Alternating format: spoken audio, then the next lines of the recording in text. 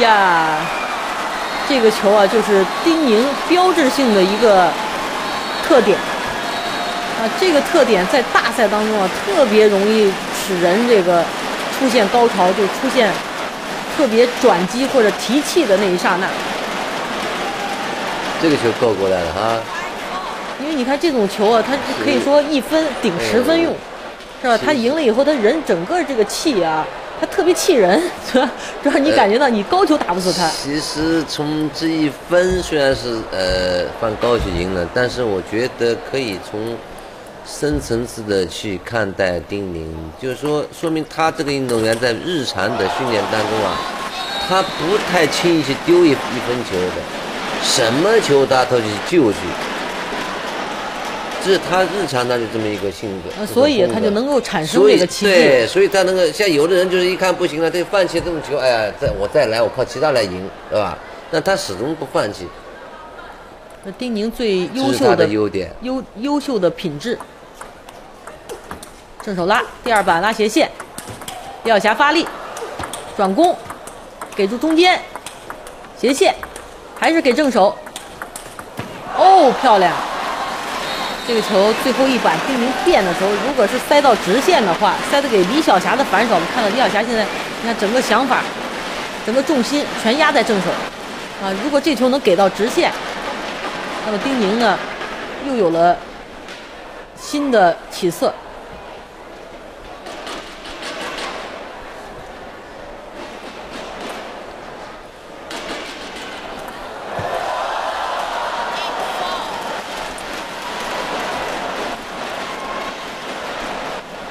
其实这一代运动员，自从王楠和张怡宁他们退役以后，现在小霞也好，丁宁、刘思文、呃郭岩，啊，他们几个运动员应该说，我觉得从技术层面来讲，他们应不应该超越了王楠和张怡宁的。他们从技术层面讲，但他们就是在经验稳定性大赛这种上面还是有差距的。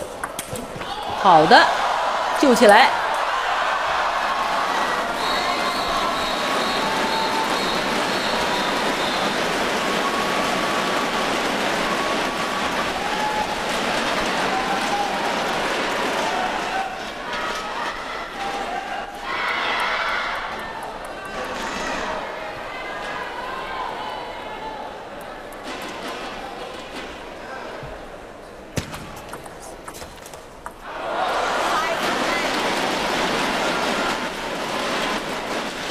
现在就是李晓霞在这一局当中啊，是九比五领先。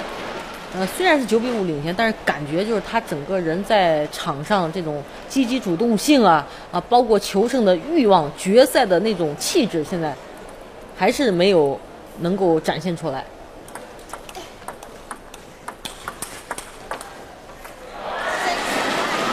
特别是在在看小霞丢分失误的一些球，马上人感觉这个。气啊是往往下泄，啊不是在自己给自己在提气，在鼓劲儿。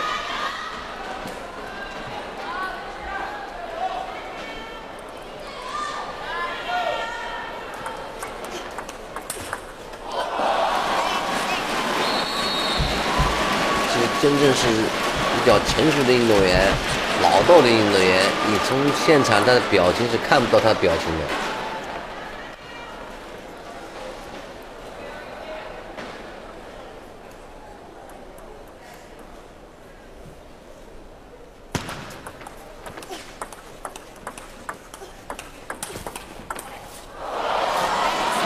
小霞呢，曾经在2008年的时候获得了世界杯女子单打的冠军。丁宁呢是第一次参加世界杯的比赛，以前呢是从没有参加过这项赛事。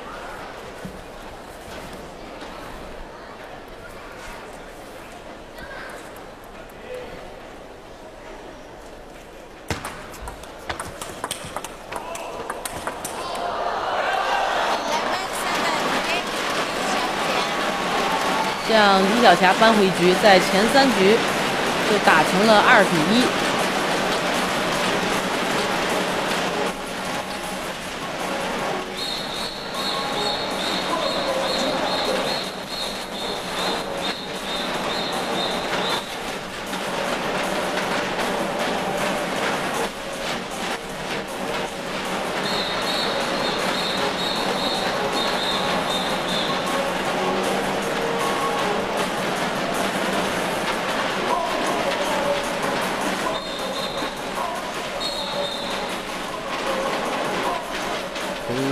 上一局来讲，我觉得就是说小霞的正手啊，但比前面他这个加强了这种进攻啊，尤其是拉这个进攻的直线，呃，得分是比较多的。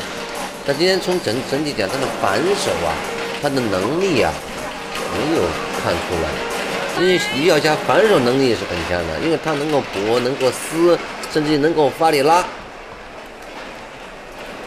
嗯，对，在这局当中呢，稍稍好一些。啊，稍好一些，因为他现在李小霞要一定要敢于发力的，是吧？因为他的风格就是这种带一种凶狠的力量型。你对吧？你你如果说你始终是为那个不又又犹豫又不敢发力，又又想这个对付，你是很难的，对吧？只是说你这合理的处理好，该发力一定要发力，对吧？你只有发力呢，让对方才怕。好球。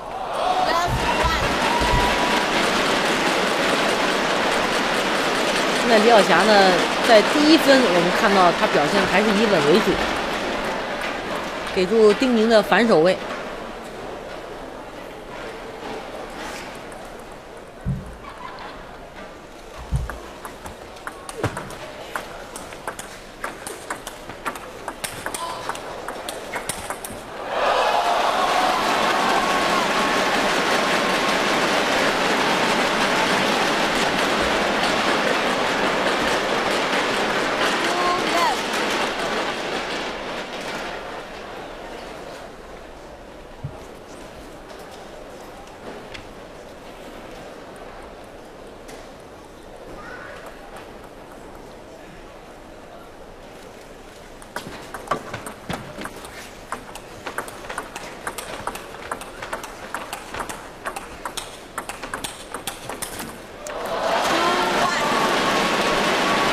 李小霞这个反手啊，他没有这种顺势撕他的这个斜线，对不对？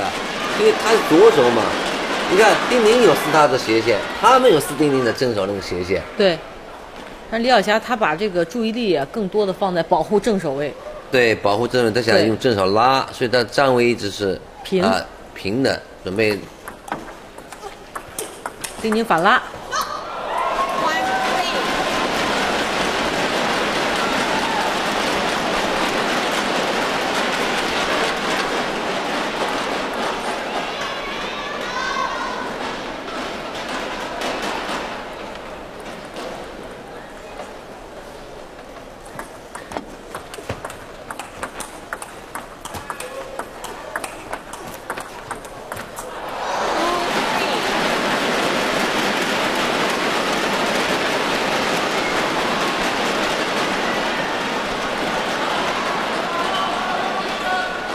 看他这个落点啊，还是比较死，你发现没有？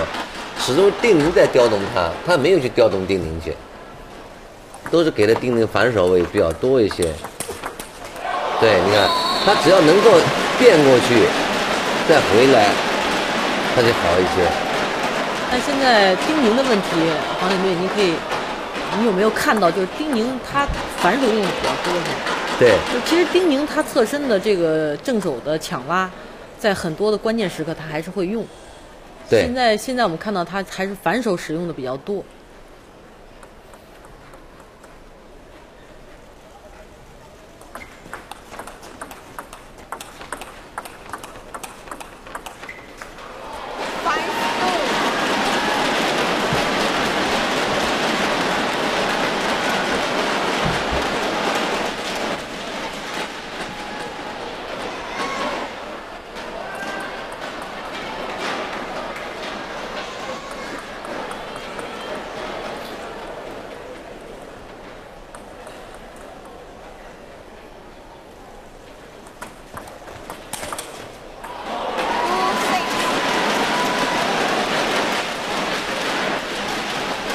现在这局，李晓霞逐渐的拉开比分，打成六比二。前三局呢是丁宁二比一领先。啊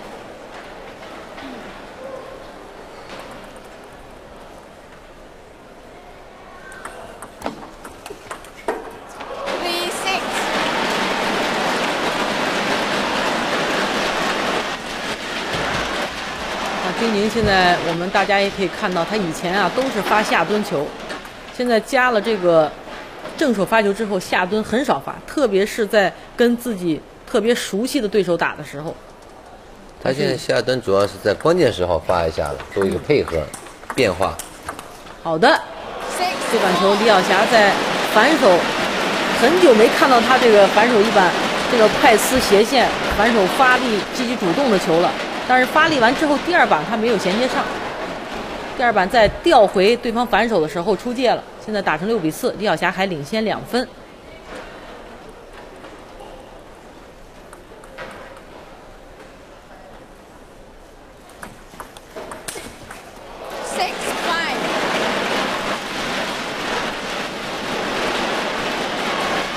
这次的比赛的球台是红川喜提供的。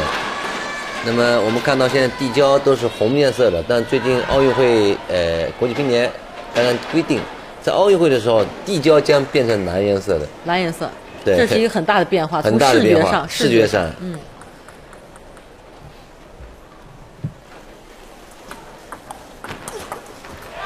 今天我们看到丁宁啊，还是穿了穿穿着一件他。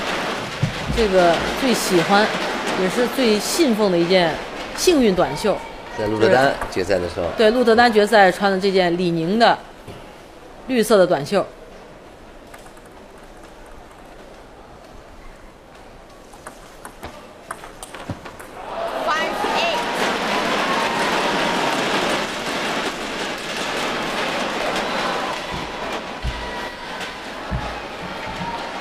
其实。和自己的队友打这样一个重大比赛的决赛，我我相信很多运动员都有很深的这个印象和理解，就是感觉好像这个遭遇了一次生死考验一样啊，在你这个一生当中啊，都是会有很深的记忆，对，刻骨铭心的。对。那么在决赛打完之后。我想像这样的世界杯，这两位选手不管是谁赢谁输，都会最起码是上半夜，是吧？都会这个有一个不眠之夜吧。